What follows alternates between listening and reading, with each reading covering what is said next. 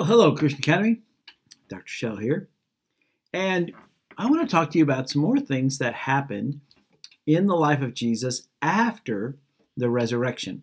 Um, we talked about the fact that after the resurrection, Jesus was on earth for uh, quite a while, meeting with his disciples, appearing to people, teaching, and then he went up into heaven. And we, that is called the ascension. Ascension is just a fancy name that means to go up. And so, uh, 40 days after his resurrection, Jesus was ascended. And sometimes I wonder, oh, oh, you're probably wondering about the background here. Uh, where is Waldo? Do you ever play that? Do you ever use that book that the book that has all those crazy drawings and you have to try to find Waldo in all those drawings and it's all confusing and there's so much you look for his red and white uh, striped shirt but there's so much red and white going on it's so it's hard to find the old boy uh, now you can stop looking because actually he's in the part of the picture that's right behind me so you can't find him so I knew you'd be distracted and you'd be trying to find him in the background, but you can't. He's actually right behind me. So, uh, but where's Waldo is reminds me that sometimes when we think about Jesus, we want to know, well, where is he? Right? We believe that he came back from the dead. We believe that he's not in the tomb, but where is he? Where is he right now? And so I thought we would just spend a little time talking about that. We're going to read uh, several scriptures today. Um, the book of Acts, which was written by uh, Luke, um, did you know, little fun fact, that Luke wrote the Gospel of Luke and the book of Acts. And if you put them together, Luke actually wrote most of the New Testament.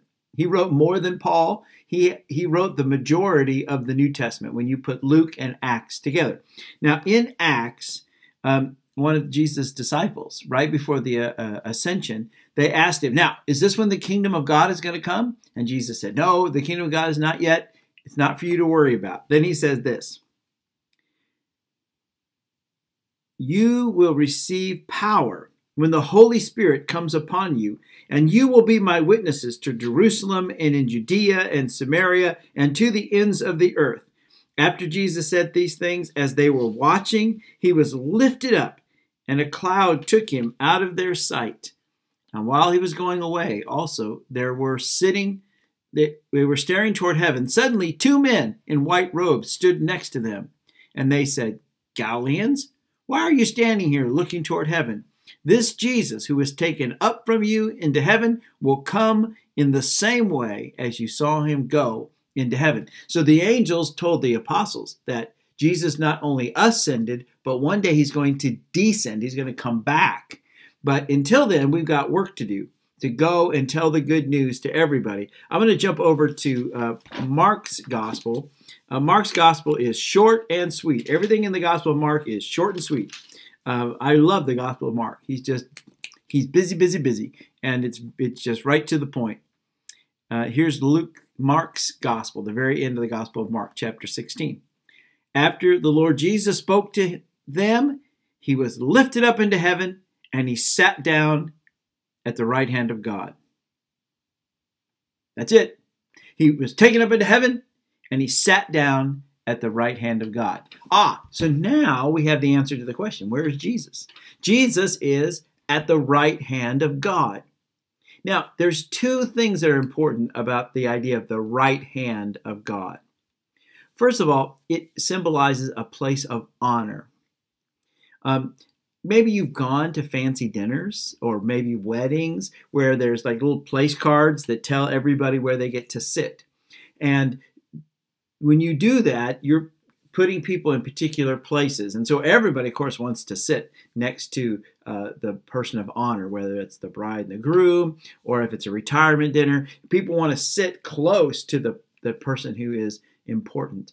And so that place, that place right at their right hand, because most people are right handed. Now, I'm left handed, so it kind of hurts my feelings a little, but that's okay. The, the most honored place is right there at the right hand of God.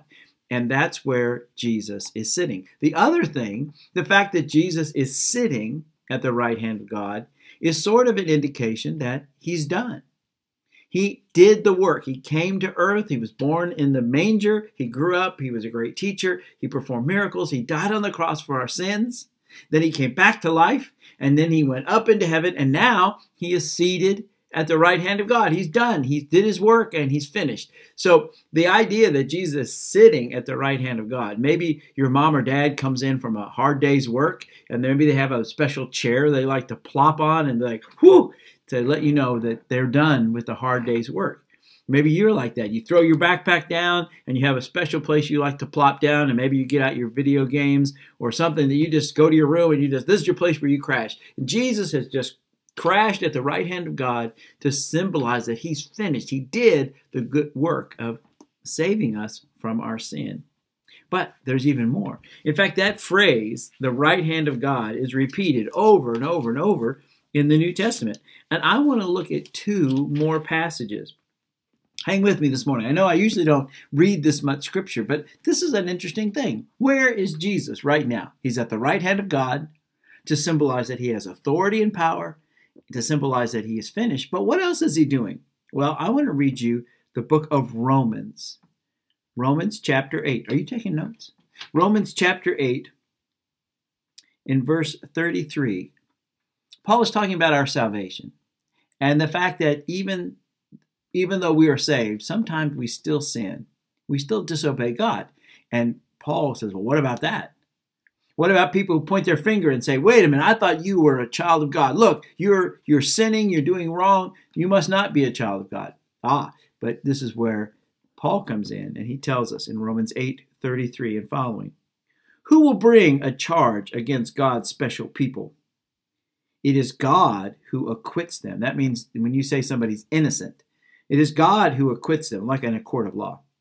Who is going to convict them?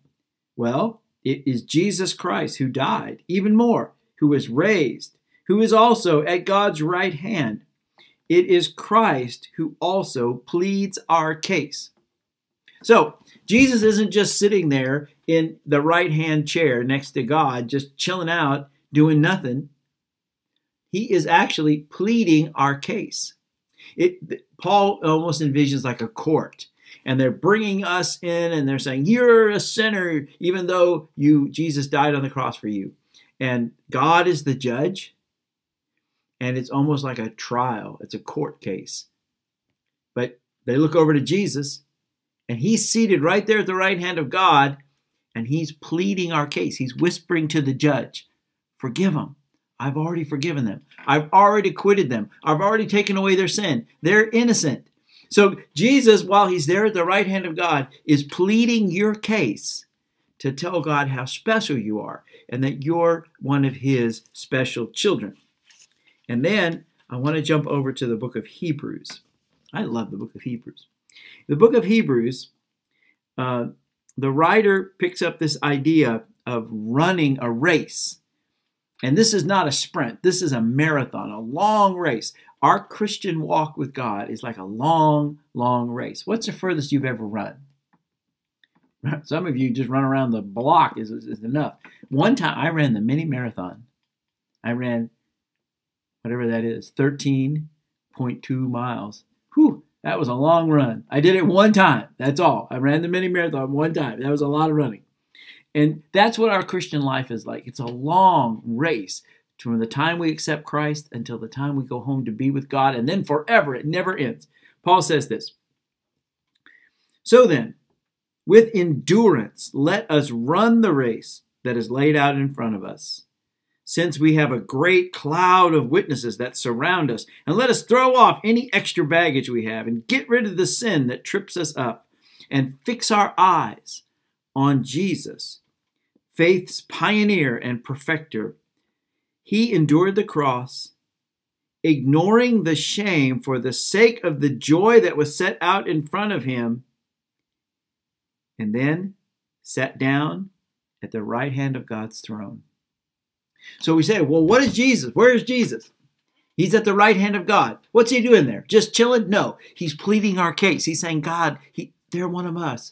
They're, that's one of your children. That's the, one of the people that I died for. And he's also waiting for you. He's like in a crowd, like if you if you've ever been to a track meet or you've ever been to a cross country meet and all those people gather around at the finish line waiting for those runners to come in. That's what Jesus is doing. He's at the right hand of God, pleading your case, and he's waiting for you to finish your race. Each and every one of us. Our races are different. My walk with God, my race for God is different than yours. I'm in a different place for you, and I have a different family and a different situation. Everybody's running their race as best they can. Jesus is pleading your case, he's cheering you on, and he's waiting for you. And the writer of Hebrews says, Put your eyes on Jesus.